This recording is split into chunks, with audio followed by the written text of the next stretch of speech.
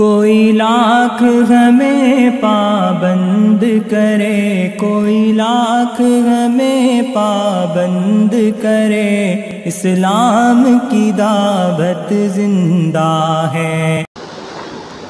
बसमीम पिछले चंद दिनों से एक बात चल रही है कि हमारी मस्जिदों में, हलक़ों में, सूबों और ज़िलों में जो फ़ैसल बनाना है हर हफ़्ते का ये चीज़ सरासर सुन्नत के ख़िलाफ़ है, बिदअत है और इससे हमें अपने आप को बचाना चाहिए। इस बारे में एक सवाल आया था हमारे साथी का कि अमीर किसको बनाया जाए? अमीर की क्या शराइत है?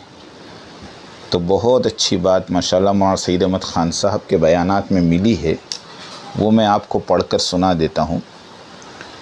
बसमीम अमीर की शर्तें क्या हैं?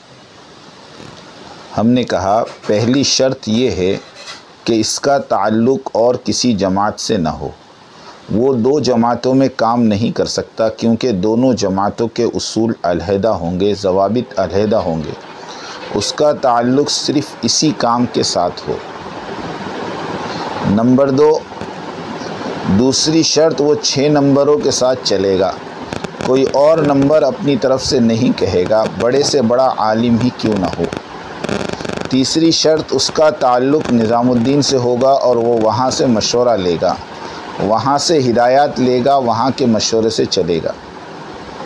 नंबर चार, चौथी शर्त यह है कि कभी उसे मामूर भी बनाएँगे, उसे दहली मरकज़ भेजेंगे कि वहाँ से चार माह या चिल्ला लगा कर आए तो उसे नागवार नहीं गुज़रेगा।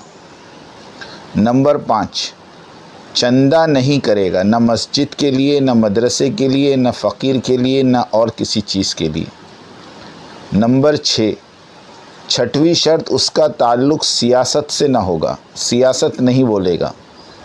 नंबर सात, सातवीं शर्त, इख्तलाफी मसाइल में नहीं पड़ेगा।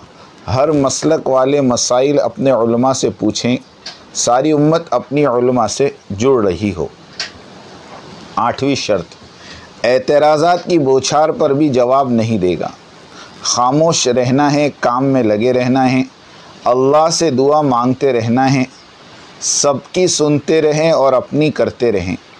इन एतराज़ों की तरफ़ मुतवजह न हो, वरना एतराज़ करने वाले काम से फंसा देंगे।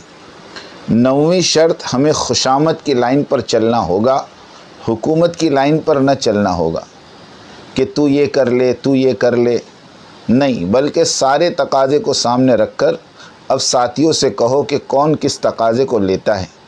जो अपनी खुशी से ले ले, हुक्म से नहीं, बल्कि उन तकाज़ों का सवाब बयान करो।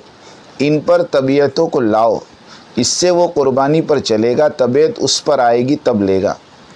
दसवीं शर्त, अगर तकाज़े लेने वाले से सुस्ती हो गई और साथियों ने तकाज़ा पूरा नहीं किया तो ये उसकी मलामत नहीं करेगा। उस पर गुस्सा नहीं होगा। सुस्ती हो जाती है। उसके साथ तकादा पूरा करने के लिए औरों को लगा दें। इस काम में लगे रहें। हमें अल्लाह इस काम में कबूल करे और सिखा दे। अल्लाह ही सिखाएगा।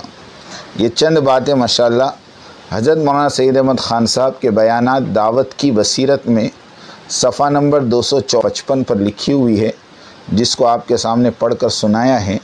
अल्लाह पाक हमें इन तमाम सिफ़ात के साथ मुज़ैन फ़रमाएँ। आमीन व आखिर दावाना अनिलहमदिल्ला रबालम